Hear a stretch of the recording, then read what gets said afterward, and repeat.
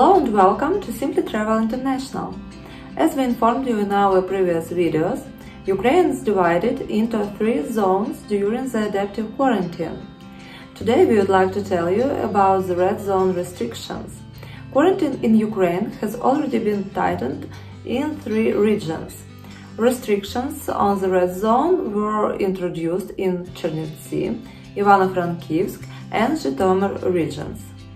Strict restrictions are applied in the red zone. The work of catering establishments, uh, cinemas, shopping centers, gyms, markets is forbidden during this period. However, banks, pharmacies, gas stations, uh, all grocery stores are allowed to work. And if you want snack, you can always use the food delivery service. Ivano-Frankivsk region was the first to enter the red zone regime, starting from February 26 until March 12. At the moment, uh, roadblocks uh, have been set up in the region and the work of public transport is limited. Only people with special passes from their workplace may use the transport. The work of uh, train stations is limited too.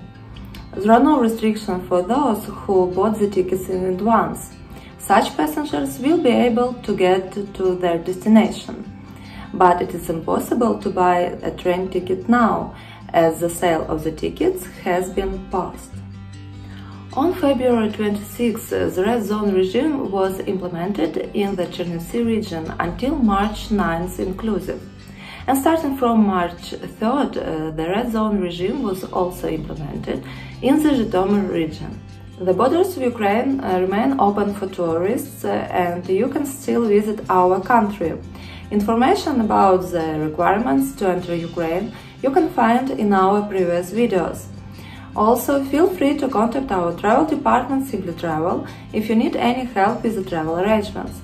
Subscribe to our YouTube channel to follow the news about the quarantine in Ukraine. Thank you for watching.